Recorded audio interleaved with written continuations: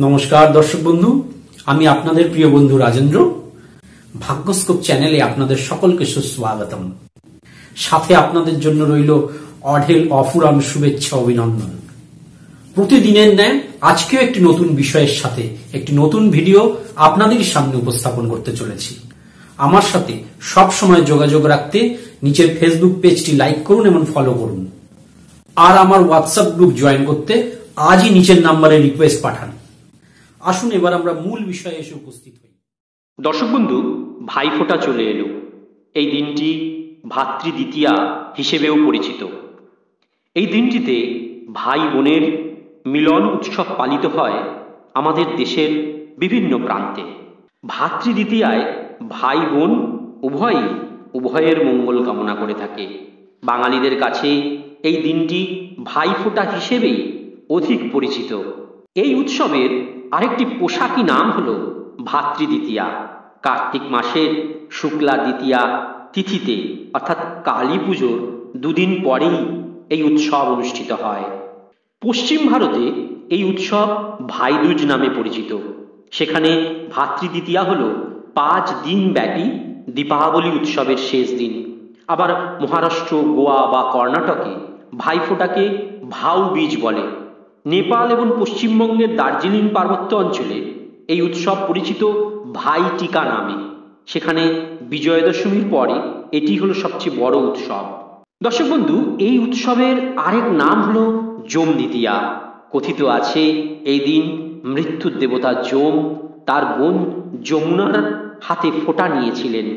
অন্য মতে, নরকাসুর নামে এক দৈত্যকে বধ করার পর যখন কৃষ্ণ তার বোন সুভদ্রার কাছে আসেন, তখন সুভদ্রা তার কপালে ফোঁটা দিয়ে তাকে মিষ্টি খেতে দেন।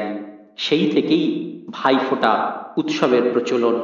ভাইফোঁটার দিন বোনেরা তাদের ভাইদের কপালে চন্দনের ফোঁটা পরিয়ে দিয়ে ছড়া কেটে বলে, ভাইয়ের কপালে দিলাম ফোঁটা, জমের দুয়ারে পড়ল কাটা, যমুনা দেয় জমকে ফোঁটা।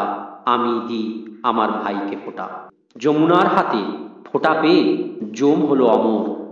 আমার হাতে ফোঁটা পেয়ে আমার ভাইও হোক অমর। এইভাবে বোনেরা ভাইয়েদের দীর্ঘ জীবন কামনা করে। তারপর ভাইকে মিষ্টি খাওয়ায়। ভাই ও বোনকে কিছু উপহার বা প্রণামই দেয়।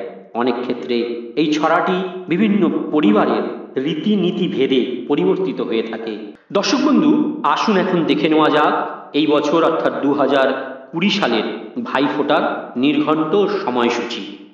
পঞ্জিকা অনুযায়ী এইবার ভাইফোঁটা পড়েছে ষোলোই নভেম্বর দু হাজার কুড়ি সোমবার বাংলা তিরিশে কার্তিক সকাল নটা চার মিনিট থেকে এই দ্বিতীয়া তিথি শুরু হচ্ছে। এটি থাকবে পরের দিন, অর্থাৎ মঙ্গলবার সতেরোই নভেম্বর সকাল সাতটা পর্যন্ত।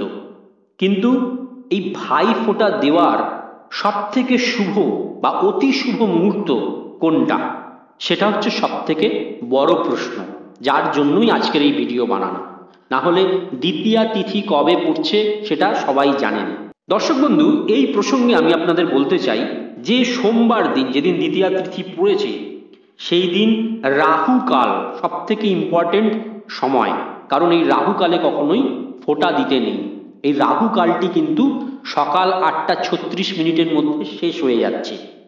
তারপরে অর্থাৎ নটা চার মিনিটে দ্বিতীয়া তিথি শুরু হচ্ছে। এই নটা চার মিনিট থেকে এগারোটা তেতাল্লিশ পর্যন্ত সব থেকে শুভ মুহূর্ত ভাই ভাইফোঁটা দেওয়ার তারপরেও আপনারা দিতে পারবেন। সারা দিনই দ্বিতীয়া তিথি আছে। কিন্তু সবচেয়ে শুভ মুহূর্ত বা অতি শুভ মুহূর্ত বা অভিজিৎ মুহূর্ত বলতে এই সময়টাকে বোঝানো হয়েছে। এই সকাল নটা চার মিনিট থেকে এগারোটা তেতাল্লিশ মিনিট পর্যন্ত।